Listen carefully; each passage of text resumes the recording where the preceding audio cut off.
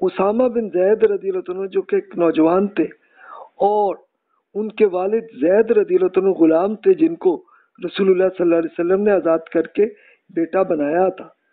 اور پھر زید رضی اللہ عنہ کے اب یہ بیٹے اسامہ تھے تو ان کو پورا فوجی مہم کے لیڈر ان کو بنایا تھا۔ تو کچھ لوگوں نے اعتراض کیا، اس پر رسول اللہ صلی اللہ علیہ وسلم نے ارشاد، کیا فرمایا؟ اس میں لوگوں کو سمجھایا بھائی کیا بات ہے؟ سیدنا عبداللہ بن عمر رضی اللہ عنہ بیان کرتے ہیں کہ رسول اللہ صلی اللہ علیہ وسلم نے ایک لشکر بھیجا، تو اس کے لیڈر، اس کے کمانڈر اسامہ بن زید رضی اللہ عنہ کو بنا کر بھیجا۔ لوگوں نے ان سے کہ کمانڈر ہونے پر اعتراض کیا، تو نبی کریم صلی اللہ علیہ وسلم کھڑے ہوئے اور فرمایا، آپ لوگ ان کی امارت پر اعتراض کیوں کر رہے ہیں کہ جب آپ نے اس سے پہلے ان کے والد زید کی کمانڈر بننے پر بھی اعتراض کیا تھا؟ خدا کی قسم، وہ کمانڈر کے سب سے زیادہ اہل تھے۔ وہ مجھے تمام لوگوں میں سب سے زیادہ پسند تھے اور ان کے بعد اسامہ مجھے سب سے زیادہ عزیز ہے۔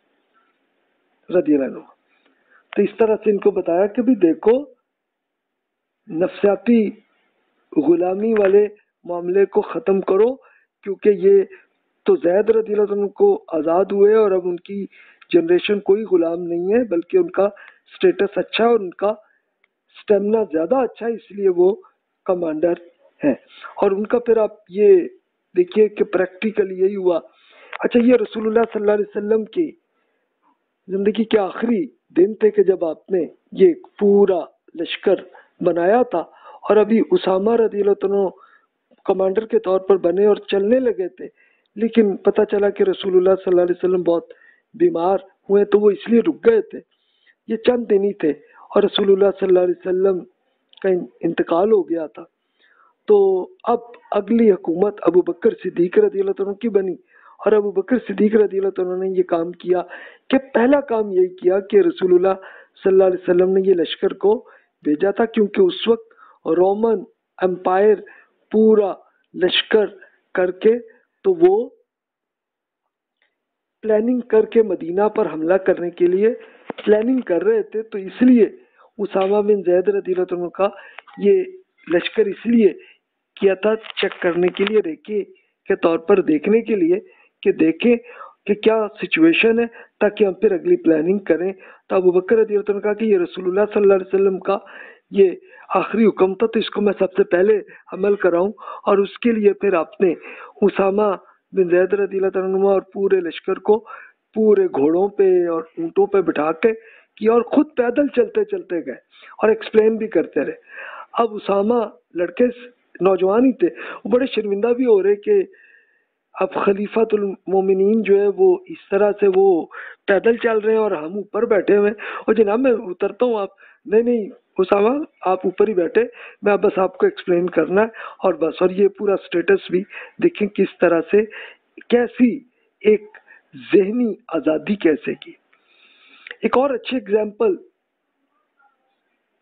سیدہ عائشہ رضی اللہ تعالیٰ کی یہ کرتے ہیں۔ یہ آپ پڑھ بھی چکے ہوں گے پہلے، ایک بار پھر پڑھ لیں۔ سیدنا عبداللہ بن عباس رضی اللہ عنہ بیان کرتے ہیں کہ بریرہ ایک غلام خاتون تھیں۔ ان کے خاون ایک سیاہ فام غلام تھے، ان کا نام مغیث تھا۔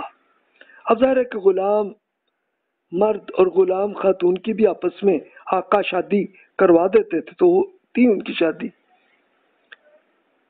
تو اب عبداللہ بن عباس رضی اللہ عنہ رسول اللہ صلی اللہ علیہ وسلم کے پاس آئے تھے، وہ کہتے میں ابھی دیکھ رہا تھا کہ بریرہ کے پیچھے پیچھے مغیث روتے روتے ہوئے آ رہے تھے۔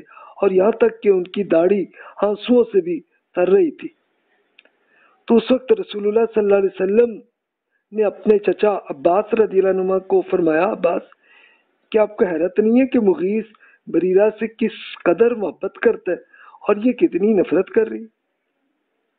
اچھا ہوا کیا کیا یہ بریرہ رضی اللہ تعالیٰ کو سیدہ عائشہ رضی اللہ تعالیٰ نے خریدا اور ان کو آزاد کیا تھا؟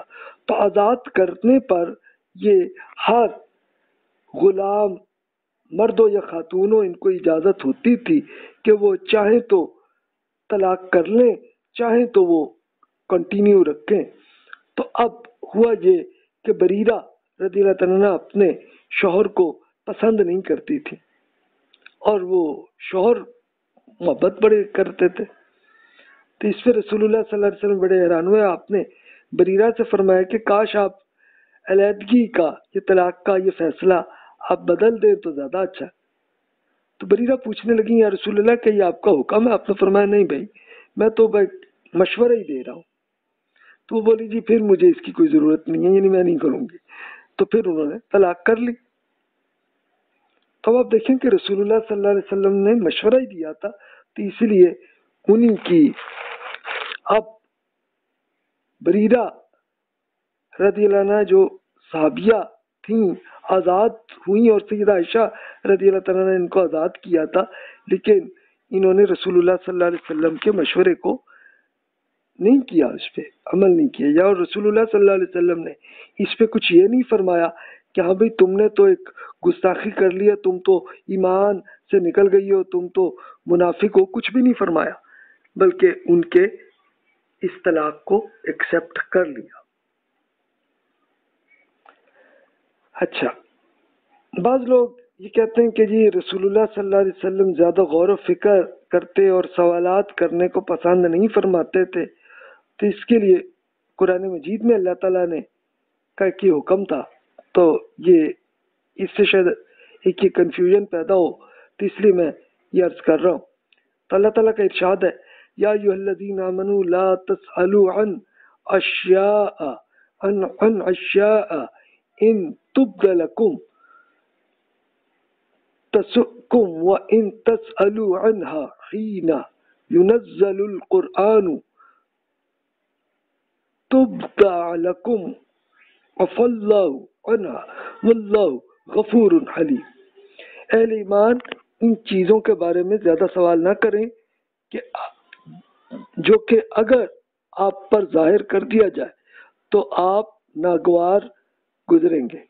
لیکن اگر آپ ایسے وقت میں یہ سوالات کریں گے تو وہ آپ پر واضح کر دیا جائے گا۔ اب تک جو آپ نے کیا، اسے اللہ نے معاف کر دیا اور وہ معاف کرنے والا اور بردبار ہے۔ یعنی ایکچولی یہ سوالات تھے کون سے؟ یعنی یہ کوئی دینی احکامات نہیں تھے۔ اب قرآن مجید نازل ہو رہا ہے اور اس وقت وہ اگر ایسا کوشچن پوچھ رہے ہوں کہ جس کا دین سے کوئی تعلق نہ ہو، تو وہاں پہ اللہ تعالیٰ اگر حکم دے دے، تو پھر تو وہ دین کا حکم بن جائے گا نا۔ تو اسی لیے اللہ تعالیٰ نے روکا تھا اور رسول اللہ صلی اللہ علیہ وسلم اسی سے روکتے تھے کہ بھئی یہ آپ یہ کوشچن نہ کریں۔ ورنہ اور کوئی دین سے متعلق کوئی سوال ہو، تو وہ ضرور صحابہ کرام پوچھتے تھے۔ سے رسول اللہ صلی اللہ علیہ وسلم سے لوگ صحابہ کرم پوچھتے تھے اب جواب دیتے ہوتے تھے۔ اور قرآن پاک میں اللہ تعالیٰ نے بھی جواب دیا ہوئے تو یہ بیسیکلی یہ چیزوں سے منع کیا تھا کہ جس کا دین سے معاملہ نہیں، مثال کے طور پر یہ جی گھوڑے پہ جاؤں کہ اونٹ پہ جاؤں، اب یہ دنیاوی معاملہ ہے، جیسے مرضی جاؤ۔ کوئی دین پہ کوئی پابندی نہیں ہے تم۔ اب اس کے لیے یہ احادیث آپ دیکھیے، سیدنا سعد بن ابی وقاص رضی اللہ عنہ بیان کرتے ہیں کہ نبی کریم صلی اللہ علیہ وسلم نے فرمایا کہ سب سے بڑا مجرم وہ مسلمان ہے جس نے کسی ایسی چیز کے بارے میں پوچھا جو حرام نہیں ہے، لیکن اس کا سوال کرنے کی وجہ سے وہ حرام کر دی جائے۔ یہ وہی اگزامپل کے جیسے کیا کہ بھئی گھوڑے پہ جاؤں کہ اونٹ پہ جاؤں، تو اگر یہ حکم آ گیا قرآن میں کہ نہیں جناب، گھوڑے پہ ہی جاؤ لازمی، تو پھر اس کا مطلب یہ ہے کہ پھر تو قیامت تک ہر آدمی، ہر مسلمان پہ لازم ہوگا کہ گھوڑے پہ ہی جائے، ورنہ نہ جائے، یا پھر اور کوئی رستہ ہی نہیں۔ تو اس لیے رسول اللہ صلی اللہ علیہ وسلم ایسے ہی منع کرتے تھے کہ بھائی یہ نہ پوچھے آپ ایک اور حدیث آپ دیکھیے، ابو طالبہ الخشنی رضی اللہ عنہ بیان کرتے ہیں کہ رسول اللہ صلی اللہ علیہ وسلم نے فرمایا، اللہ تعالیٰ نے کچھ فرائض لازم کر دیے کہ انہیں ضائع مت کریں۔ اس نے کچھ کام حرام قرار دیے، اس کے قریب نہ جائیں۔ اس نے کچھ حدود مقرر کیے، اس کی خلاف ورزی مت کریں۔ لیکن اس نے کچھ چیزوں کے بارے میں خاموشی اختیار کر لی ہے، اس کے بارے میں تفتیش میں نہ پڑے، سوائے اس کے کہ بھول کر کچھ اب کر گزرے۔ کہ چلو اگر زیادہ تفتیش میں اگر آ گیا، غلطی سے کر بیٹھے بھول کے تو کوئی بات نہیں، لیکن ریگولر نہ کرو، ورنہ پھر آپ کو مشکل آ جائے۔